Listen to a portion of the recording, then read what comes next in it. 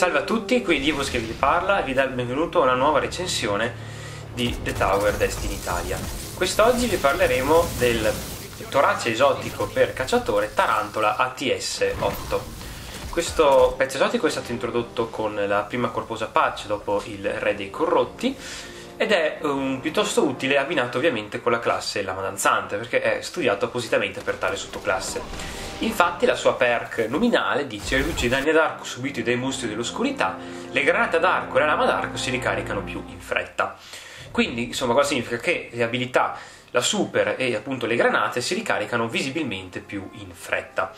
Quindi molto utile soprattutto nel comparto eh, PvP, dopo ne parleremo nello specifico, risulta al momento il miglior pezzo esotico per la lama danzante, in quanto la maschera del terzo uomo, che ne prolunga semplicemente la durata, ha perso un po' della sua, po della sua utilità. Dove si può ottenere? Lo si può ottenere dagli engrammi esotici, lo si può ottenere da Xur, insomma qualsiasi eh, tipo di drop esotico per eh, Torace.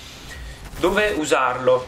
In PvE attualmente il Tarantola e in generale la classe della danzante risultano piuttosto inutili, in quanto Predatore della Notte può comunque contare sull'invisibilità, magari abbinata al doppio fumogeno delle impugnature sigillate degli Amkara, può fare molte più sfere, quindi in definitiva la Madanzante ormai in PvE ha perso gran parte della sua utilità e quindi insomma il Tarantola, sì, se volete divertirvi a spammare qualche super extra negli assalti qualche, qualche attività rilassante, il Tarantola può essere divertente, però per il ride, cara la notte, insomma attività che possono richiedere un equipaggiamento un po' più, un po più pensato, il Tarantola e l'abbinata con la lama danzante è abbastanza inutile.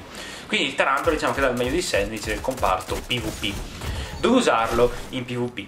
Diciamo un po' dappertutto ovviamente. La danzante in PvP ha il grande vantaggio di avere il blink avere il teletrasporto il che lo rende diciamo in qualche modo differente dalle altre classi del, del cacciatore.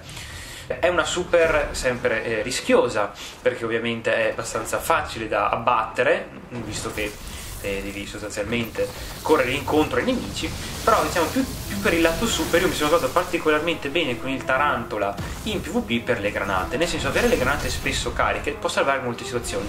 Ad esempio io uso la granata saldante, quella che si appiccica, quella che può essere sticcata sui nemici e personalmente averla carica eh, un, un, po' più spesso del solito è stato davvero molto molto utile.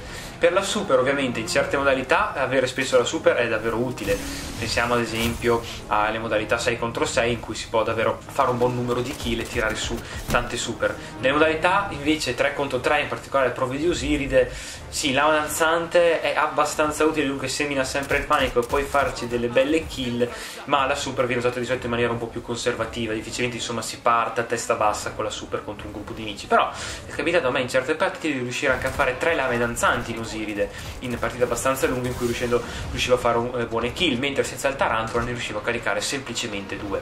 Quindi eh, valutazioni in PvE eh, direi 6, 6 e mezzo, non di più perché appunto in PvE è un pezzo che non, non ha senso utilizzare insieme alla sottoclasse, insomma cioè utilizzare lama danzante in PvE piuttosto mettere la maschera del terzo uomo, il cimiero del lupo alfa per fare qualche sfera in più. Comparto PvP invece la mia valutazione è un bel 8,5 perché può essere davvero veramente utile per, soprattutto come dicevo prima, le granate e in seconda misura, ma insomma dipende dal contesto, anche per la ricarica accelerata della super.